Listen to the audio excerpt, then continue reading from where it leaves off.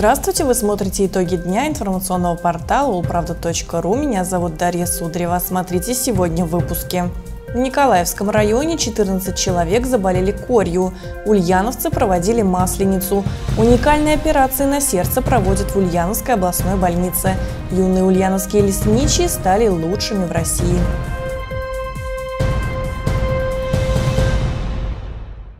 Николаевском районе 14 человек заболели корью. Это острое инфекционное вирусное заболевание характеризуется высокой температурой, воспалением слизистых оболочек полости рта, конъюнктивитом и сыпью на теле. Среди заболевших трое детей. Все больные госпитализированы, их состояние оценивается врачами как удовлетворительное с положительной динамикой.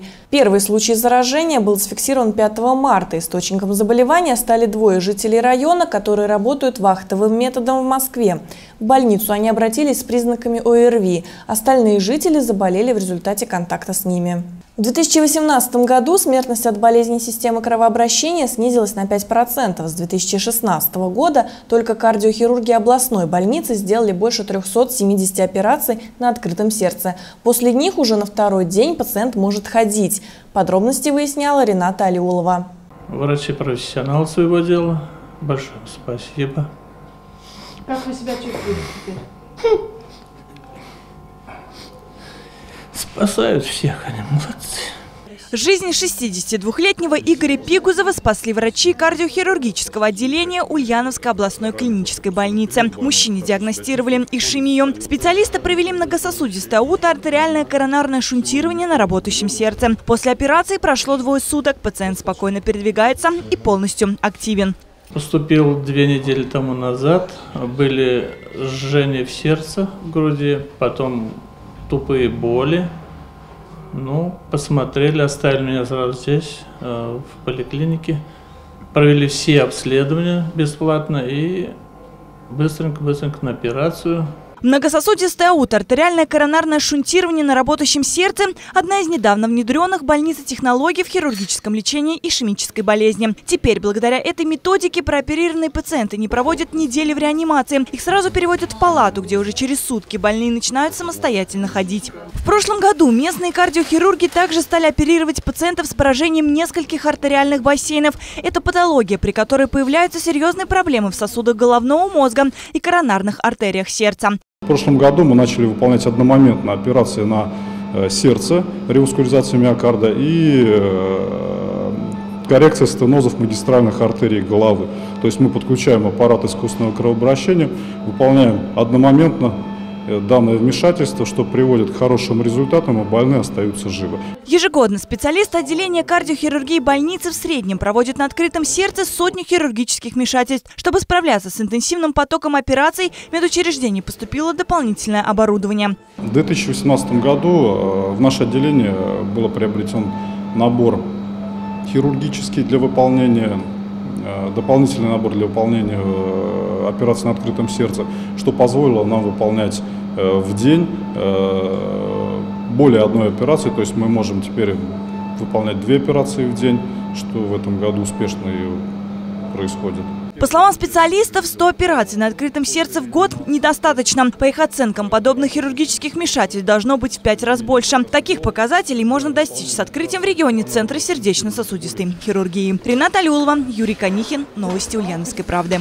С этого года каждый субъект страны задействован в реализации национального проекта «Безопасные и качественные дороги». Фактически это целый комплекс мероприятий, направленных на приведение дорог в нормативное состояние. О том, как качественно и в срок достигнуть всех поставленных задач, обсудили на семинаре совещаний в Москве. Впервые проектная команда нацпроекта собралась в полном составе. Это делегация 83 субъектов России. Трехдневный семинар совещания проходил в Москве при участии главы Минтранс Российской Федерации Евгения Дитриха. За весь период проекта должны быть отремонтированы почти 40 тысяч километров автомобильных дорог регионального значения. В Ульяновской области ремонтные работы затронут 47 участков протяженностью 107 километров. Наиболее знаковые участки по Ульяновской городской агломерации – это автомобильная дорога Ульяновск-Узюково, э, Димитровград-Узюково-Тольятти, Солдатская Ташлак, Кузоватова, Новоспасская, э, Труслейка, Тияпин, Чамизинка – это те участки, которые больше всего пользуется спросом у населения, там высокая интенсивность движения. Кроме замены дорожного покрытия установят больше двух тысяч дорожных знаков. Новые светильники установят на 20 километрах транзитных участков дорог. Обновят и горизонтальную разметку. Всего на реализацию нацпроекта в регионе направят 2 миллиарда 414 миллионов рублей. Участники семинара сошлись во мнении, что жители регионов должны стать полноправными участниками процесса развития дорожной инфраструктуры. Это означает, что ульяновцы будут принимать активное участие в приемке дорог, а также контролировать процесс процесс ремонта. Несмотря на свою внеклассную работу, школьные лесничества успели снискать любовь самих школьников. Ребята не только узнают много нового о лесе за партой школы, но и ходят в походы, строят скворечники и сажают деревья. В прошлом году старейшему школьному лесничеству «Березка» из Николаевского района исполнилось 50 лет. В гостях у юных лесовиков побывала наша съемочная группа.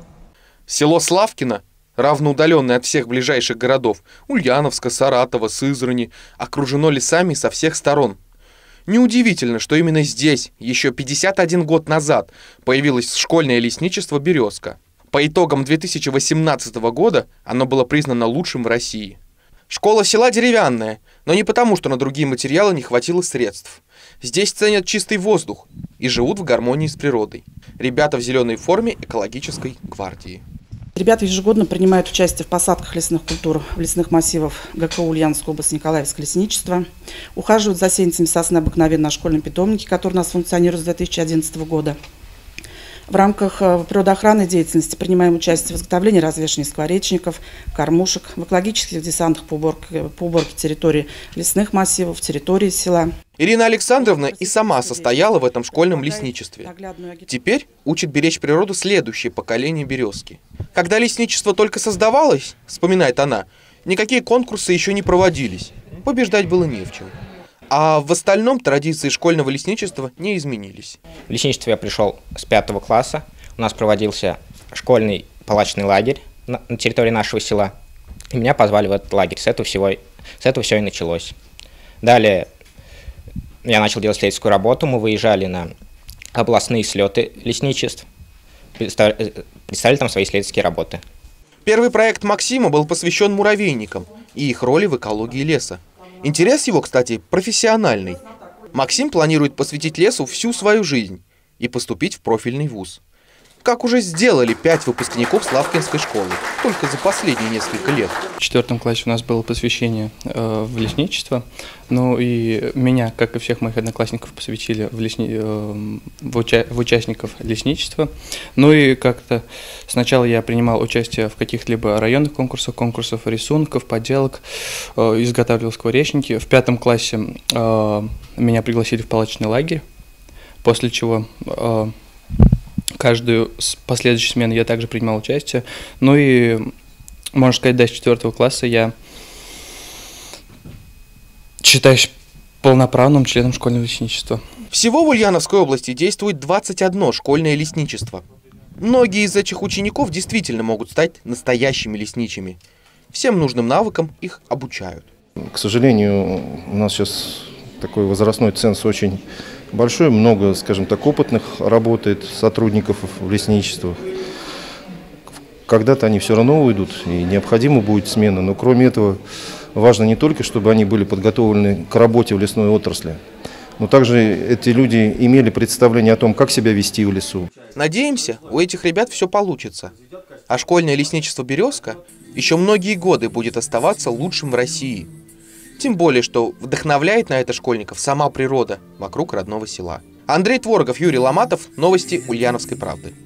Вчера в парках и на площадях города и области прошли масленичные гуляния. Но, пожалуй, громче и ярче всех зиму проводили в блинной столице региона Сингелеи. На центральной площади города проходил фестиваль блинов.